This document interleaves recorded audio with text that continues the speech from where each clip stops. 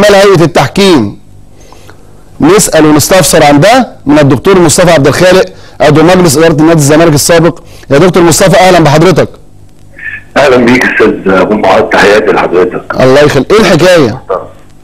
وبدايه بس خليني أحيي قناتك المحترمة. الله يحفظك. مبدئيا آه، الحكاية إن النهارده كان إحنا منتظرين آه، الحكم الجديد في مركز تسويق التحكيم في بطلان الانتخابات أيوه.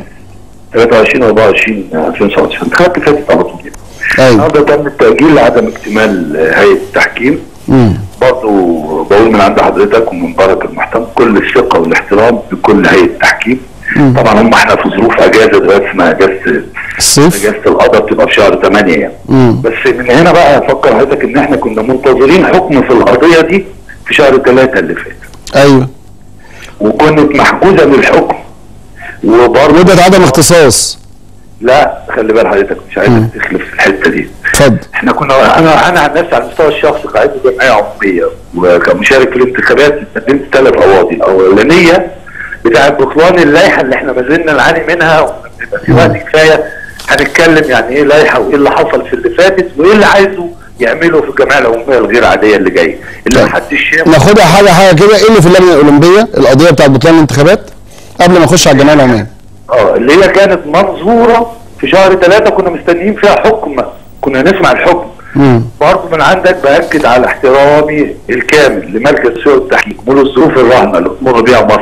وقانون الرياضة إحنا بكل توعية وكل تقدير استحملنا التعديلات اللي صدرت في اللائحة التنفيذية الخاصة بالتحكيم اللي زي ما قلنا قبل كده تقاضي درجه ثانية الصيغة التنفيذية الحاجات اللي إحنا كنا بنشتكي أول ما صدر قانون الرياضة وتبعية واستقلالية مركز تسويق التحكيم.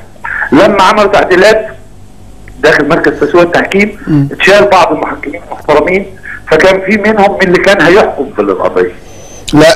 لا لا لا لا لا ما تعديش دي دي محتاجة شرح اتفضل. بص يا أستاذ معاذ آه، ما زلت والآخر يوم في عمري بقول بحترم القانون. بحترم استقلالية مركز تسويق التحكيم بحترم إن ده اختيار بس كلامك كده فيه غمز عاوزين نفهم. بص يا أستاذي أنا كنت مستني الحكم.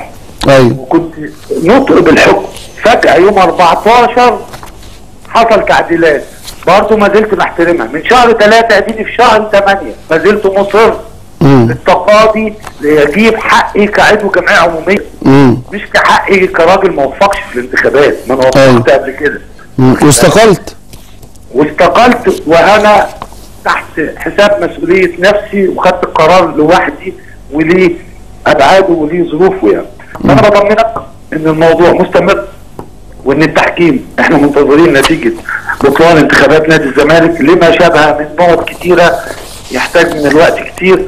وبرضه ما زلت متحفظ لحد ما المحكمة الهيئة الجديدة يتعرض عليها الموضوع بالكامل وبرضه كل الاحترام لهيئة التحكيم. مستني ده فهي تم التأجيل لعدم اكتمال النهارده فيما يخص آه، مركز تسويق التحكيم. بس من عندك بطمن الجمعيه العمومي إن ده إصرار مننا لحقنا اللي اغتصب في الانتخابات اللي فاتت. ما زلت مصر على إني هعرف أجيب حقي بالتحكيم المصري شاء الله. طب ممكن أسألك سؤال؟ اتفضل. قضية حضرتك ماتت في مركز التسويق التحكيم وقضية المحاسب هاني العتال نائب رئيس النادي أيضا نامت في مركز التسويق والتحكيم وبنعمل جمعية عمومية دلوقتي ناخد فيها كل القرارات اللي إحنا عاوزينها في ظل مباركة الجهة الإدارية. رد حضرتك. أطمنك في إن فيما يخص بطلان الانتخابات انت أنت تطرقت من شوية أستاذ أبو المعاد لو ليه؟ إن كان في قضيتين قبل كده واحدة بطلان اللائحة اللي فاتت اللي إحنا شغالين عليها لحد دلوقتي واللي اتعملت عليها الانتخابات. عشان كان هو حاطط فيها شرط جوه اللائحة بيقول فيه أنا ما حدش يوديني أي مركز تسويق وتحكيم. عشان كده إحنا كنا بنقول يا جماعة دي مخالفة للقانون ومخالفة للدستور. خلفت في اجراءات إتمامها. دي معاك فيها. ما سلمناش كنا نقدر ناخد القضية وندولها دوليا ونروح بيها المحكمة الدولية لكن حرصا لأن الظروف الصعبة سكتنا لأن كان في ملحق تاني ليها إعلان شروط الترشح برضه. خدت عدم اختصاص أيوة. القضية اللي إحنا فيها اللي حضرتك ذكرتها النهارده بطلان الانتخابات لأ ده فيها إلزام لو حصل خلاف لأي جمعية عمومية على نتيجتها بتاعة الانتخابات اللي هتطرق أي جمعية عمومية في مصر مركز التسوية والتحكيم هو صاحب الحق الأصيل في الفصل في هذا الأمر.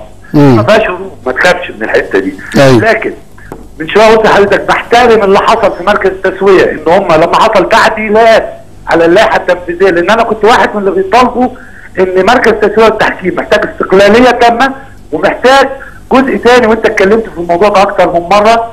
وأنتوا بس أنت وعبد الناصر اتكلمتوا في المواضيع دي. بقية الإعلام غمى عينيه وحط إيديه على ودانه عامل لا شايف ولا سامع لاهم لاهم واخطر نقط في قانون الرياضه أيوة. تمام كده. أنا بطمنك بما يخصنا في القضية دي بقول لك لأ بطلان انتخابات نادي الزمالك القضية مستمرة ودفاع نادي الزمالك في المراحل التقاضي اللي فاتت قبل كده قبل ما يقع في الحكم ما قدمش ورقة ولا مستند لأنه ما عندوش ورقة طيب عاوزين نقول للراي العام يا دكتور مصطفى حضرتك بتستند على إيه في بطلان انتخابات الزمالك؟ بس في الإجراءات أنا مقدم حاجات إن ال- ال- الانتخابات خلفت الإجراءات اللي تمت فيها بدءا من الاعلان وكشوف أعضاء الجمعية العمومية وتشاء الظروف وربنا سبحانه وتعالى يكمل الأمر بالخير. إن تيجي لجان تفحص تأكد على الكلام اللي إحنا كنا بنقوله نتائج التقارير اللي طلعتها اللجان دي هن- هنطالب بضمها للقضية. أنا بقول فيها إن في ناس ما كانش ليها حق الانتخاب وانتخبت بقول فيها لحد يوم الانتخابات كان في ناس بي- بي- بيدون اسمها. في كشوف الانتخابات وما كانش ليها الحق. ارتباطا باللائحة اللي إحنا شغالين عليها لحد دلوقتي ده مخالف. ارتباطا بالقانون مخالف. للدستور مخالف. مخالف. مفيش حاجة اسمها إنك تنتخب بتوكيل. مفيش مفيش حاجة اسمها اوكل غيري. حتى اللي تم ده في الانتخابات اللي فاتت بمناسبة كلمة التوكيل كان فيها شرط إلزامي في اللائحة اللي تمت عليها الانتخابات يفصل في الأمر إن اللي ينتخب ينتخب في لجنة خاصة ما اتعملتش لجان خاصة للتوكيلات كله موجود. كل الأمور اللي شبه العوار لبطلان الانتخابات قدمناها بمستندات بحفظ مستندات وبدفعنا مستندين فيه للقانون 71 ل 2017 وللدستور اللي مخالف دستوريا اللي مخالف قانونيا اللي مخالف حتى اللائحة بتاعته مخالف فيها في إتمام إجراءات الانتخابات. تنقيه الكشوف واعتمادها من الجهة الإدارية المنوط بيها المسؤولة ما تمش. والجديد بقى أقوله عند حضرتك دلوقتي يعني. تكريما لدورك وتصديق للقضية. حتى تاريخ الانتخابات مجلس إدارة نادي الزمالك لم يعتمد.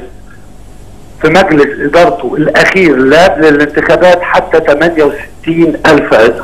في ناس انتخبت لحد 73 ألف عضو. مم. 5000 ما كانوش أعضاء نادي الزمالك أساسا. ما كانوش خدوا قرار مجلس إدارة واعتمدوا وتوجهوا من النادي للجهة الإدارية إن دول بقوا أعضاء واصحاب حق في التصويت في أكتر من كده تسيب في الإجراءات. فعشان كده القضية ما ماتتش وبطمنك وبقول لك طيب أقول لك على على سؤال جاي لي اهوت على الفيسبوك. ناس بيقولوا لك ان إن المسألة إرادة دولة وإن اللجنة الأولمبية لا تستطيع آه، الصمود. هي وزارة الشباب أو مرتضى منصور ردك. بص عبد الرئيس نحترم طبعا رايه ليه كل التقدير والاحترام اللي عبر وقال كده يعني دي ناس محبطة فبتسأل السؤال ده. أنا بقول لك أنا بحترم اللجنة الأولمبية بيت الرياضة وعايز أقول لنفسي ولحضرتك والساده المستمعين والأعضاء الجمعيه العمومية اللجنه الاولمبيه دي لجنة منتخبة من جمعيات عمومية مش جاية كده بتوصية ما أو بتعيين ما أو ناس مش فاهمة. ده ناس منتخباها جمعيات عمومية صاحبة حق أصيل. زي صاحبة الحق الأصيل اللي هي نادي الزمالك لما الوقت يسمح هبقى أقول لك فيما يخص اللي جاية بقى الجمعية العمومية اللي جاية. حدث ولا حرج الإعلان اللي نزل في أهرام الجمعه اعلانين اتنين واحدة عادي وواحدة غير عادي. في جمعية وخد التانية هدية. آه الإعلان الثاني يا أستاذ معاطي لما تشوف فيه بيقول لك إيه؟ بعدين هنقول على جدول الأعمال. مم. الثاني جمعيه عموميه غير عاديه ليه؟ مم. زي بالظبط صورة كركون من اللي حصل في شهر 8 2017 كل الأندية المحترمة اللي غيرت لوائحها. أيوه. النظام الأساسي عرضت على مجتمعها الرياضي وعلى أعضاء الجمعية العمومية بنود اللائحة اللي بتقدمها. الميثاق اللي هنشتغل عليه الأساس اللي هنشتغل عليه إلا نادي الزمالك. يوم الاربع قبل الجمعية العمومية بتاعت اللائحة اللي هتقرر اللائحة بيومين فقط لا غير اتوزعت. خد ده. اللي. اتوزعت حاجة واللي اتنشرت حاجة واللي واللي أتوقع عليها واللي اتعرضت في الوقائع المصرية حاجة تانية تاني خالص. أيوه. نفس الكلام بيعيد نفسه تاني هو النهارده قبل قبل قبل قبل الجمعية العمومية ب 15 يوم ولا 17 يوم بقول لك هي فين جدول الأعمال؟ هي إيه التعديلات اللي أنت عايز تعملها تاني على اللائحة اللي أنت كنت بتتفاخر بيها قدام المجتمع المصري كله في كل وسائل إعلام ولو ما لقيتلكش وسيلة تعلن لك كنت بتعلن فيديوهاتك وتقول دي أحسن لائحة تعدلها ليه تاني النهارده في خلال سنة؟ تعدلها عشان تدرك فيها تستدرك فيها الأخطاء اللي أنت وقعت فيها طب ما هيليق عليها قواضي الكلام ده؟ يعني مش هيتلحق فأنا عايز اطمنك واطمن نفسي وجماهير نادي الزمالك إن اللي جاي بالجمعيه العمومية اللي جاي ده اللي لسه محدش شافه خالص عشان نستدرك الأحداث ونقول إيه اللي بيحصل لكن مفيش حاجة خدت موافقة الجهة الإدارية خدت موافقة الوزير المختص خدت موافقة اللجنة الأولمبية ولا كل دول لا يعني شيء عشان تنزل اعلان في الاهرام جريدة رسمية وتقول أنا عندي جمعية عمومية. بتاع إيه؟ طب ممكن أسأل سؤال يا دكتور مصطفى؟ اتفضل. النهارده المدير التنفيذي للنادي واحد خبرة إدارية. أنا بكلمك يعني أستاذ محمد سويلة مدير مديرية شباب الرياضة آه، آه، السابق في القاهرة. وخبرة كبيرة جدا. هو أكيد جاي يسوي الأمور بما يتوافق مع اللوائح.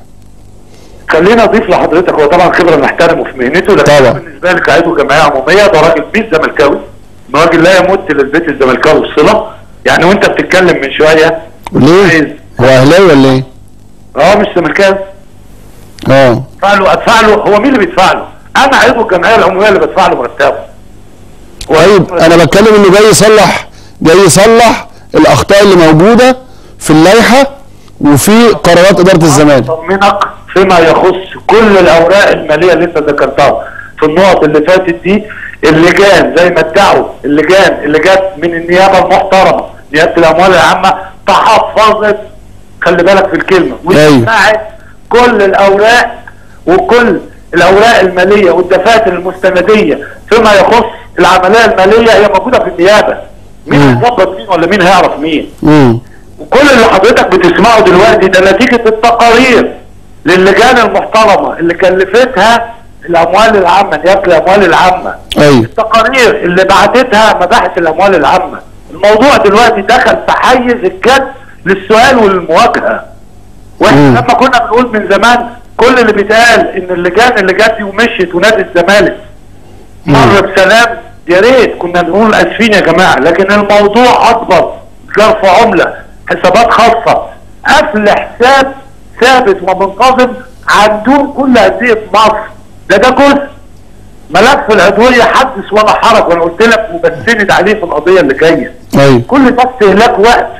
بقالنا سنة في نزاع يعني إحنا على شهر 11 اللي جاي ده إحنا بقالنا سنة على لائحة جديدة. صغيره إحنا إحنا ليه مش مستقرين؟ لأن الإدارة مش عارفة تدير المؤسسة. لأن الإدارة خطفت المؤسسة. لأن الإدارة عملت المؤسسة عزبة خاصة. مم. يعني إيه هاني زاده بقاله أربع سنين ونص دلوقتي ولا ثلاث أشهر وأربع أشهر تحديدا من ساعة ما كنا في المجلس في سويسرا فيما يخص نفس اللعيبة اللي بيحكي عليها. يعني إيه؟ فين العقل اللي يسمع منك الكلام ده؟ بس. آه بتاع اجوجو و...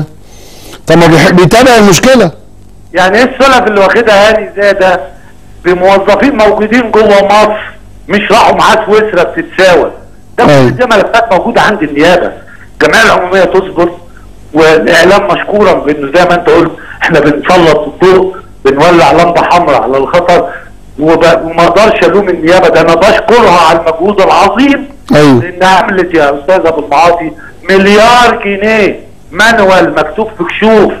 مش مليار جنيه موجود في حسابات بنكية هضرب أطلب برنت في لحظة على ما تشرب كوباية شاي يبقى قدامك. تخيل ناس الزمالك شغال دفتر بقاله دفاتر بقاله لا خلينا بس نتكلم في جزئية بس الجمعية العمومية القادمة. هل اعتمدت الجهة الإدارية آه، آه، جدول الأعمال ووزارة الشباب والرياضة أم ماذا أنتم فاعلون؟ الإعلان اللي تم ما جابش سيرة على الإطلاق لا من قريب ولا من بعيد بإن اخطر الجهة الإدارية وانها وافقت له حصلش. زي أي جمعيات عمومية في أندية محترمة وتقول لك بعد ما نخطر الميزانية والحساب الختامي اللي اتعرض. المفروض إحنا مستنيين ال 15 يوم شرط اللائحة تعرض في الكشوف زي ما اتقال قبل كده في الجمعيات العمومية اللي فاتت ملاحظات المراقب المالي اللي مستنيينها. المتخصصين للحسابات. ده المراقب المالي اعترف في تقريره السابق بالاتجار في العملة. ماشي اللي المواضيع بعد قلتها مرة واثنين وثلاثة. قال الملاحظات دي. ورايحين للرابعة. هتعرض بقى ميزانية. وانت ميزانياتك اللي فاتت حاليا في نيابة الأموال العامة؟ ده طيب. ده عشان إيه؟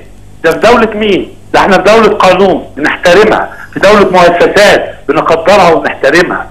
على الوزير المختار طب سؤال مهم يا دكتور مصطفى. المحترم خليني أكمل دي بعد إذن حضرتك. اتفضل. الأستاذ الدكتور أشرف صبحي نادي الزمالك لسه ما اتعرضتش ميزانيته الجديدة للموسم اللي إحنا بنتكلم عليه دلوقتي 17 18 واللي فاتت موجودة في النيابة. بيتحقق فيها مع موظفين واخدين حبس على ذمة القضية. طب هم هم نفس عناصر الإدارة إن اختلف أو زاد فيها فرد أو اثنين أو ثلاثة فين الكلام ده؟ عندنا بس هنا بيحصل في نادي الزمالك فقط دونا عن أندية مصر ومن عندك بقول للسادة المحترمين أعضاء لجنة الشباب والرياضة الموقرة بعتز برئاسه آه، المهندس فرج عامر بيها. أيوة. ليها وادائه الطيب للفترة الصعبة اللي فاتت. هو ليه كل مشكلة نادي الزمالك حضراتكم بتتصدوا ليها تعملوا الاستجواب السريع جدا؟ طب ما كان القانون عندكم. طلع من عندكم ناقص سوى ليه؟ ما استواش ليه؟ ما طبقش الدستور ليه؟ أيوه حضراتكم ما شفتوش كل الأخطاء دي وهو كان عندكم. مين أكبر حضراتكم على إنكم تطلعوا القانون بالشكل ده؟ ليه لحد دلوقتي ما اديتوش استقلالية لمركز التسويه والتحكيم؟ لما أنتوا عارفين ان الاخطاء دي طلعتوا تقولوا عليها تاني ساعة ما كان رئيس النادي بيستجوب. استجوب مين؟ ليه؟ ولا إحنا فين؟ طيب دكتور مصطفى معلوماتي ان الجمعيه العمومية القادمه سوف يقوم فيها رئيس النادي بوضع بند بشطب أدويتك وأحمد سليمان وهاني العتال والدكتور عبد الله جورج وكل من اختلف معه آه، رسالتك لوزير الشباب والرياضة. نحترمه وبقدره اخ فاضل ابن نفس الجامعة اللي اتخرجنا منها وابن نادي الزمالك ومتفائل بيه مستقبل للرياضه إن شاء الله. بس هو الشكوى هتتقدم عنده آه لكن آه، فيما يخص ربنا لبنود الجمعية اللي إحنا ما نعرفش عنها حاجة والتعديلات اللي هتتم. لكن أنا من عندك بفكرك في قضية هتكون قدام مركز التسوية والتحكيم وقصاد الجهات المختصة. أنا أحبطت من مركز التسوية والتحكيم. لا لا لا, لا. أنا بقول لك أحبطت. أنا احبطت لما تبقى في حاجة قاعدة من نوفمبر اللي فات. وكل شوية بنبحث عن مبرر لأن القضايا تنام يا راجل ده ده الل- ده اللجنه الأولمبية بتعترف بمحاضر آه، ان إن ما فيهاش هن عتال نائب رئيس النادي. هقول لك على حاجة حصلت. يعني اعتمدت اعتمدت النتيجة. والوزير المحترم خالد عبد العزيز كان كان آه، آه، داعم لاحترام القانون. ماشي؟ النهارده اللجنه الأولمبية بتتدارى خايفة تخش في صدام مع رئيس نادي الزمالك. بكل أمانة بقول يعني. بص يا أستاذ ابو معاطي الصدام جاي جاي وموجود من بدري. هو رافض أي حد من قائمة أحمد سليمان. طيب. ما تعاونش مع هاني وما تعاونش مع الدكتور عبد الله لأسباب إن هو رافضهم كأشخاص. لكن اللي أنا عايز أفكره بيه وأفكر الدولة ومؤسساتها كلها دول اختيار جمعيه عمومية. دول مش اختيارك مش ابنك سقط يبقى الدنيا كلها سقطت قدامك. ده جمعيه عمومية احترمت واختارت الناس دي فالناس دي ليها حق هي اللي جابته وهي اللي تمشيهم مش انت. ما هو يعمل لك جمعية عمومية اهو. ما أنا جاي بيسمعني ما أنا عايز اطمنك هي جمعيه من العمال الاجراءات اللي أعلن عنها دي لحد دلوقتي سليمة. لا مش سليم في ملاحظات جوه إحنا بنحتفظ بيها هتتعرض قدام الوزير. التحكيم وقدام الوزير وقدام الجهات المختصة. هو إحنا هنسكت. هو اللي فاتت لما سكتنا أنا ما سكتش على المستوى الشخصي في المرة اللي فاتت. بطمنك واهدى والموضوع مسألة وقت. حظه حظه إن إحنا داخلين على أسبوعين في الوقت المناسب والإجراء السليم والميعاد السليم هيكون قصاد الجهة المنوط فيها إنها ترجع حقك كعضو جمعيه عموميه مش كمصطفى وبس. أنت حضرتك إعلان. شفت الإعلانين اللي نزلوا في الأعراض. تقدر تقول لي الجمعية العمومية الغير عادية في نادي الزمالك اللي هتتم دي اللي أعلن عنها بفلوسي وفلوس بقية أعضاء الجمعية العمومية. في اعلان بريده رسمية بفلوس أعضاء الجمعية العمومية. زي كل اعلان بيعلن زي الإعلانات اللي أعلنت على ممارسة البث وممارسة حق ال- الرعاية مرة واثنين. دي فلوس أعضاء الجمعية العمومية مش فلوس حد. زي كل مرة بندفع غرامة لاتحاد الكورة عشان المدير الفني بيسمع كلام رئيس النادي وما بيحضرش. دي فلوسنا مش فلوس. المؤتمر الصحفي تقصد. المؤتمر الصحفي. بتأمرهم بتأمر الجهاز الفني والتابعين ليه ما تحضرش. دي مش فلوسك دي فلوسنا. آخر سؤال لحضرتك يا دكتور. آخر سؤال وركز فيه عشان ممكن تكسب جنيه ذهب. ماذا تقول على المكالمات السرية التي يتحدث عنها نادي الزمالك بينك وبين الكابتن أحمد سليمان؟ سمعناه في المداخلات ما شفنا سمعناش حاجة يعني. الراجل يطلع أي مكالمات خاصة. الراجل يطلع. لأن أنا لما بكلمك دلوقتي لو في مكالمة خاصة بيني وبينك في التليفون أنا ليا كامل الحرية. أنا مم. أنا إنسان أمتلك حريتي وحضرتك تمتلك صح. تعبر وعبر زي ما أنا عايز. أيوه أنا لا أنا مخطئ ولا أنا بتكلم في حاجة خطأ ولا أنا بتكلم مع مسؤول ما أو موظف ما. بقول خالف العمل الفلاني. ده يكون كمان في إذن مسبق من النيابة بتسجيل مكالمات. دي مع مهاترات أنا أقدر أقول كده كواحد ابن متعوبة اتربيت على الأصول وبفهم. طبعا. الكلام اللي ملوش لازمة تقول له إيه؟ بله واشرب ميته بله واشرب ميته أحلى ختام بشكرك يا دكتور مصطفى. لا لا عايزك قبل ما تمشي أنا كزملكاوي انت ما نجيب قفشة يا عم أنت مالك أنت؟ ما تسيبنا نجيب قفشة. هتجيب قفشة منين؟ هناخد قفشة وهناخد كل حاجة للزمالك. عايز أقول لك على حاجة عايز أقول لك كلمة هي قلتها قبل قبل موضوع قفشة. الأهم أن يصمت رئيس الزمالك والا يتدخل في شؤون فريق الكرة لأن فريق الكرة يمتلك عن- عناصر مميزة ومدير فني مميز وبالتالي إيه، لو استقروا وبقى يعني مقفول عليهم هينافسوا على الدوري بقوة شديدة جدا فرقة فيها عناصر مميزة جدا جدا جدا. بشكرك يا دكتور مصطفى. شكرا يا دكتور مصطفى عبد الخالق عضو مجلس نادي الزمالك السابق. ليا تعليق بسيط على إعمل جمعية وخد التاني